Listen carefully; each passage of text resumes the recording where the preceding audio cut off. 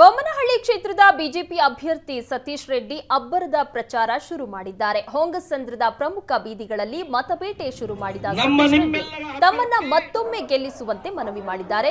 ತೆರೆದ ವಾಹನದಲ್ಲಿ ಪ್ರಮುಖ ಬೀದಿಗಳಲ್ಲಿ ಮತಯಾಚನೆ ಮಾಡಿದ ಸತೀಶ್ ರೆಡ್ಡಿ ಕ್ಷೇತ್ರದ ಸಮಗ್ರ ಅಭಿವೃದ್ಧಿಗಾಗಿ ಬಿಜೆಪಿಗೆ ಮತ ಹಾಕುವಂತೆ ಮನವಿ ಮಾಡಿದ್ರು.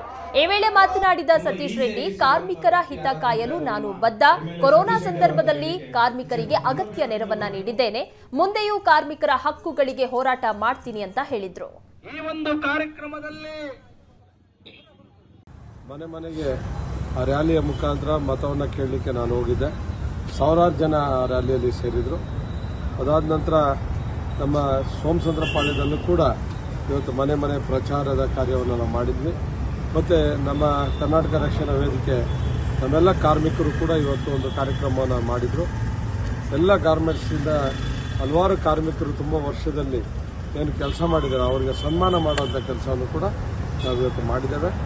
ಇಡೀ ಬೊಮ್ಮನಹಳ್ಳಿ ವಿಧಾನಸಭಾ ಕ್ಷೇತ್ರದ ಎಲ್ಲ ಗಾರ್ಮೆಂಟ್ನ ಕಾರ್ಮಿಕರು ನನಗೆ ಈ ಸಲ ಭಾರತೀಯ ಜನತಾ ಪಾರ್ಟಿಯನ್ನು ಸಪೋರ್ಟ್ ಮಾಡ್ತೇವೆ ಅನ್ನೋ ಒಂದು ವಾಗ್ದಾನವನ್ನು ಕೂಡ ಕೊಟ್ಟಿದ್ದಾರೆ. ಆದ್ದರಿಂದ ಇನ್ನಷ್ಟು ಬಲ ನನಗೆ ಜಾಸ್ತಿ ಆಗಿದೆ.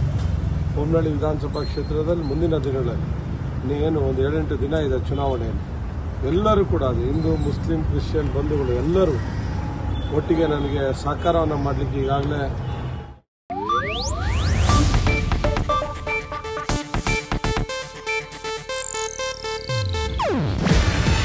ಇದು ಏಷ್ಯಾನೆಟ್ ನ್ಯೂಸ್ ನೆಟ್ವರ್ಕ್ ಪ್ರಸ್ತುತಿ.